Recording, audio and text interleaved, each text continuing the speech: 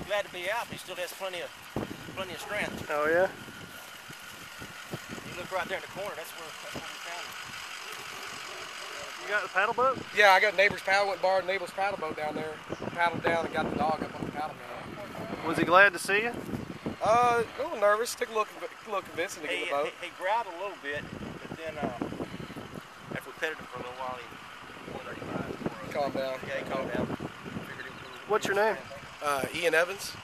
And JB Morein, JB Morein. building inspector here.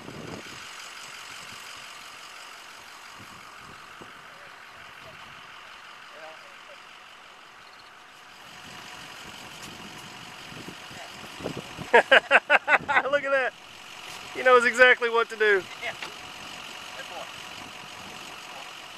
Looks like he's done this before.